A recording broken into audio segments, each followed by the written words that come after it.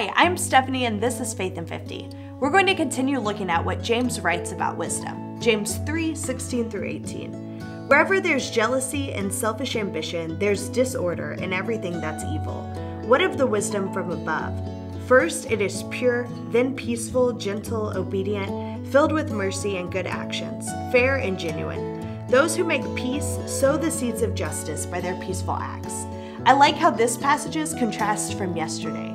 Today we're focusing on the beauty of wisdom. Those attributes, pure, peace, gentle, mercy, they're nice, they're life giving. We're reminded that through God, we can gain wisdom.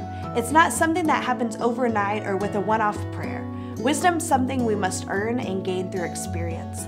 But God offers this beauty to us. How can you use wisdom for good in your life today?